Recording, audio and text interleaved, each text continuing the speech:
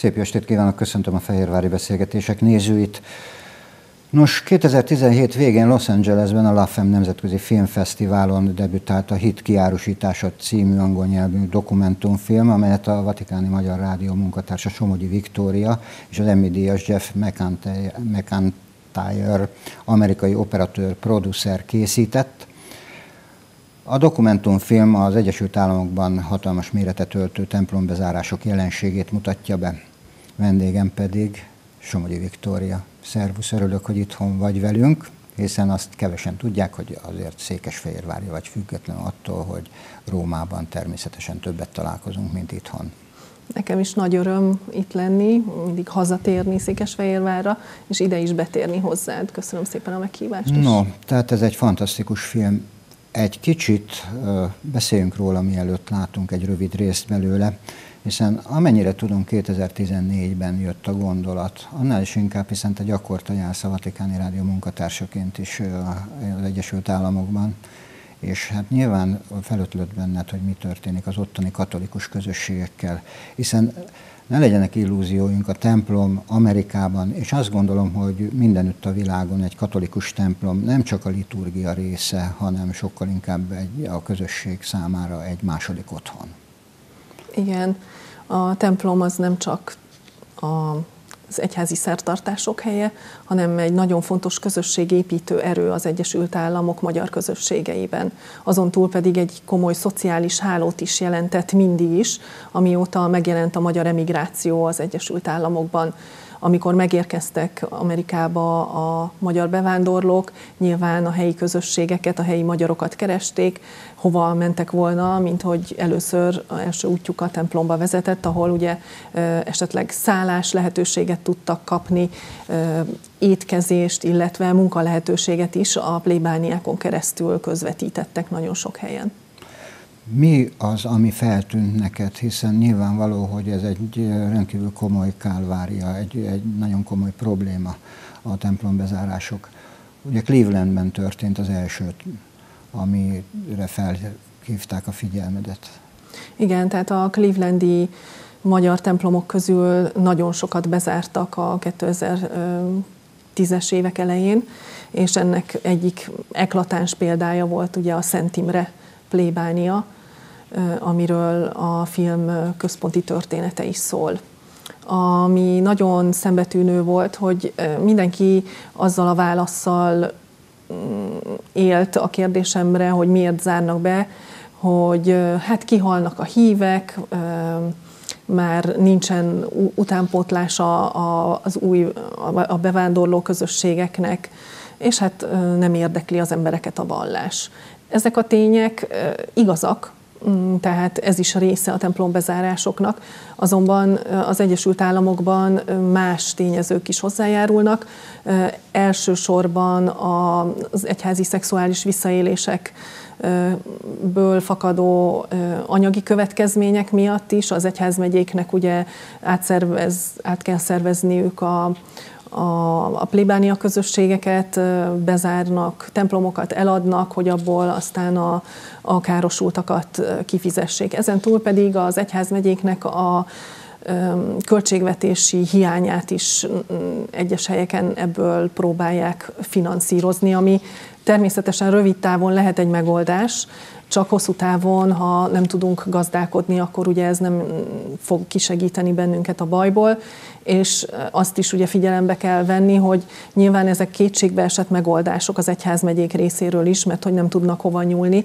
Ugyanakkor több statisztika, egymástól független statisztikák is igazolják azt, hogy az egyes plébániák bezárásakor 40%-a a hívő közösségnek elhagyja a katolikus egyházat is, mert annyira meg van botránkozva a, a folyamat lefolytatásán, illetve azon, hogy nyilván az adott egyházmegyének az előjárója, ahelyett, hogy megvédeni ugye a templomot, mint közösséget, helyett hát ugye arra kényszerül, hogy eladja vagy bezárja. Tehát innét folytatjuk, most azonban nézzük meg azt a bejátszást, amely a film rövid összefoglalója.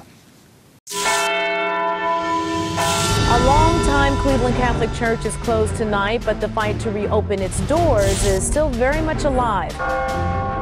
Regrettably, I mean, we still have some parishes that are in financial difficulty. It says in canon law that the pastor must defend his people.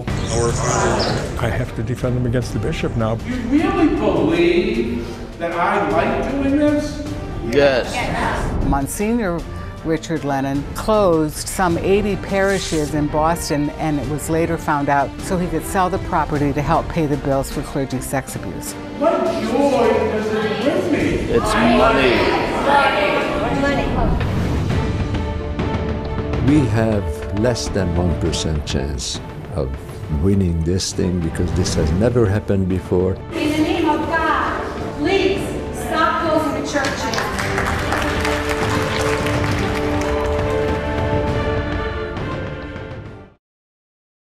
Nos hát eh, lesütött szemmel néztük, azt hiszem mindnyájan. Kedves nézőink, szeretném felhívni a figyelmüket, hogy természetesen a Fehérvár televízióban is bemutatjuk ezt a filmet a jövő hétvégén, majd kísérjek figyelemmel a műsort. No, tehát ott tartottunk, hogy ez volt az alap. Ehhez azonban az kellett, hogy az eshetőségből egy terv szülessék, és akkor elindítsd azt, hogy egy film is készülhessen belőle.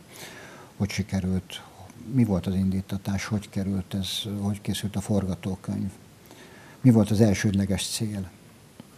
Az elsődleges cél az volt, hogy bemutassuk ezeknek az amerikai magyar közösségeknek a szenvedés történetét az ő oldalukról. És aztán, amikor elindultunk a forgatásra, Clevelandbe, és aztán az volt a terv, hogy, hogy megyünk Rómába és, és Budapestre is az interjúk tekintetében, akkor a Clevelandi forgatás során ugye az ember váratlanul is találkozik olyan emberekkel, akik esetleg hozzáadnak a történethez újabb információkat. Felfedeztük, hogy igazából ez a történet nem mondható el anélkül, hogy elmondanánk azt, hogy mi történik az amerikai katolikus egyházba van, mert hogy ugye ezek az amerikai magyar plébániák, katolikus közösségek beágyazódnak az ottani mm. egyházba, és ami hatással van az ottani helyi egyházra, az közvetetten hatással lesz ezekre a kis közösségekre a, a főpap személye ilyenkor mennyit számít, hiszen olvastunk róla, hogy itt egy új főpap is nagyon sokat tett ilyen értelemben, hogy ez a romboló tevékenység elinduljon, tehát a, a pusztító jelenség lábra kapjon. Igen, fontos a főpásztor személye az egyházmegyében, mert éppen ugye Lenon püspök, aki a Clevelandi egyházmegyének az élére került a, az ezer, a 2008-as, 6-os, 7-es év során, ő volt az, aki Bostonból érkezett, és ugye tudjuk, hogy 2002. januárjában Bostonban, a Bostoni Főegyház megyében tört ki a, az egyházi szexuális visszaélési botrány, és ő volt az, aki a, a lóbíboros lemondása után az új érsek kinevezése előtt megbízottként végrehajtotta az egyházmegyének az átalakítását. És ugye ugyanezt a tervet hozta át Clevelandbe, ami, hát, ami Bostonban is tragikus következményekkel járt, ez ugyanez történt sajnos Clevelandben is, tehát hatalmas felháborodások, tüntetések, és hát ugye azonban találunk olyan más egyházmegyéket is, ahol viszont a főpásztor a párbeszéd eszközét választotta a hívekkel, tehát meglátogatta az adott plébániát, és elmondta nyitottan a problémát, hogy az egyházmegyének ez és ez a problémája, erre megoldást kell találni. Eddig úgy tűnik, hogy ez lenne a megoldás, hogy bezárjuk, összevonjuk a plébániát más plébániákkal, és akkor eladjuk ezt a templomot. Ilyen esetekben ezt főpásztorok is tanúsítják, hogy a hívek részéről olyan megoldási lehetőségek kerülnek elő, javaslatok állnak elő, amelyekre soha senki nem gondolt volna, és olyan sikeresen tudják kezelni ö, az esetleges anyagi problémákat, hogyha tényleg arról van szó, hogy még több ö, anyagi erőforrásra van szükség ahhoz, hogy fenntartsák a plébániát vagy az egyházmegye helyzetét javítsák, hogy bámulatos megoldások születnek, és amely közösségek ilyen értelemben új lehetőséget kapnak a továbbélésre, kivirágzanak olyan módon, amire semmi, senki nem számított. Egy nagyon érdekes dolgot mondtál még itt a beszélgetésünk elején, illetve előtt, hogy ezek a templomok többségében a városok belvárosában helyezkednek el, és a többség ugye száz, azt hiszem, hogy évszázados történettel rendelkezik. Igen, nem tudom, Ez hogy... mennyiben befolyásolja a bezárást, hogy többnyire a, a város kellős közepén találhatjuk meg őket? Ennek is van szerepe. Ugye az Egyesült Államokban a város szerkezet az nem olyan, mint Európában, hogy ugye nálunk a belváros az a történelmi belvárost jelenti. Ott általában sajnos az 50-es, 60-as évek közepétől kezdve az úgynevezett belvárosok nagyon leromlottak, tehát nagyon szegény rétegek költöztek be, és, és hát a kertvárosokba költöztek ki a jómódúbb emberek, de a 100-120 éve épült templomok, azok az akkori városnak a, a, a közepén épültek, és hát ez befolyásolja ugye, hogy például Cleveland esetében van a Szent Erzsébet templom, ami az amerikai földrész első magyar temploma, az 1880-as évek végén épült. Ez történelmi örökség és kulturális kulturális örökség az, az Egyesült Államokban is, tehát ezt nem lehet lebontani, akármilyen döntés is születik az egyházmegye részéről. Tehát azt mindenképpen megőrzik, a Szent Imre templomnál például ugyanúgy a, a belvárosban volt, de mivel már a, a közösség ugye nagy része más mm, környékeken él, és nehezen jut vissza, vagy, vagy tényleg hát már ott a környéken átalakult a, a a lakóközösség, akkor hát előfordul az, hogy ugye a leromlott állapotnak következtében is esetleg eladásra kínálja föl az egyházmegye. Most tehát meg volt az ötlet, meg volt a terv a filmre, hogy nyerted meg az operatőrt hozzá. Hogy készült a forgatókönyv? Hiszen korán sem mindegy, hogy a teljesség igényével szeretnétek bemutatni ezt az egész mizériát, vagy pedig és hát példát mutatni nyilván, megmutatni Rómának, megmutatni Magyarországnak, megmutatni az amerikai katolikus közösségeknek, tehát számos probléma merülhetett fel. Hogy sikerült megoldani? Jeffel már egy másik projektről gondolkodtunk. Egy másik projektről gondolkodtunk, ami híres amerikai magyaroknak a történetét mutatta volna be. És akkor aztán 2014-ben, amikor úgy láttam, hogy az amerikai magyar templombezárások elérkeztek egy súlyos fordulóponthoz, mert ugye a New Yorki Szent István templomot is bezárták, akkor úgy láttam, hogy inkább ezt a témát kellene prioritásként kezelni, és akkor Jeff fel elkezdtünk erről beszélni, ő akkor nyilván egy kis magyar projektet látott ebben, de örömmel állt rendelkezésre. Én pedig azért gondoltam, hogy egy amerikai filmessel dolgozom, mert ugye angol szakosként, meg külföldön élve látom azt, hogy milyen fontos, hogy idegen nyelven is elérhetővé tegyük mindazt, ami magyar vonatkozású, mert senki nem tanul meg magyarul, nagyon ö, ö, szükösek a hírforrások ö, emiatt. Úgy láttam, hogy mivel nem csak magyarokat érint ez az amerikai templombezárási probléma, jó, hogyha ezt amerikaiaknak angolul tárjuk a szeme elé, és így aztán tényleg ez egy sikeres együttműködés volt, hogy Jeff ugye mint kívülálló, aki nem katolikus, és mondjuk azt, hogy nem érdekli, hogy mi történik a, a katolikus egyházban, jó egyensúlyt biztosított ebben az együttműködésben, mert hogy ugye én két részről is bevont voltam. Egyrészt a szívem meghasadt ezekért a templomokért, másrészt pedig ugye nyilván a katolikus oldalról is néztem a történetet, és hát ennek Most a, a Los Angeles-i bemutató után elindult a, a film a maga útján. Én azt gondolom, hogy egy veretes utat járt be, hiszen számos fesztiválon nyert, nagyon fontos díjakat, de ami még ennél is fontosabb, hogy nyilván erre felkapta a fejét egyrészt Rómában, másrészt az amerikai katolikus közösségekben, harmadrészt pedig a sikereknek köszönhetően történt egymás. Sikerült-e a, a római intést eljuttatni Amerikába? Hát ugye ez egy nagy feladat. Én arra vállalkoztam ezzel a tervel, hogy bemutassam a köztérbe, elérhetővé tegyem ezt a problémát, és elindítson egyfajta párbeszédet erről a kérdésről, hogy hogyan lehetne jobban megoldani, hogy tényleg ne ilyen fájdalmas történet legyen a vége, ami nek következtében 40% az adott közösségnek elhagyja a katolikus egyházat.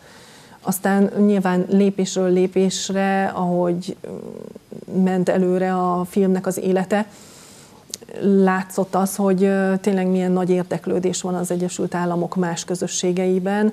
Nemrégiben jártam Miami-ban, a magyar közösségben, amely ott a, a református közösség gondozásában áll, mert mint a templom és a közösségi ház, és felfedeztem, hogy őket is érinti ez a probléma. Tehát egyre inkább kitágul az a közösség, amely bevonódik ebbe a problémába, és nagyon jó, hogy az elmúlt két évben a, a filmfesztiváloknak köszönhetően, illetve a magyar országi és a határon túli filmbemutatók következtében is ez a, ez a probléma egyre inkább előtérbe kerül. És hát ugye a magyar kormánynak is szívügye az, hogy a diaszpora közösségeket megmentse és gondozza, úgyhogy nagy örömmel hallom, hogy, egyre fontosabbá válik ugye a templomoknak a megvédése is. A Magyar Püspöki Konferencia tagjai miként vélekedtek erről?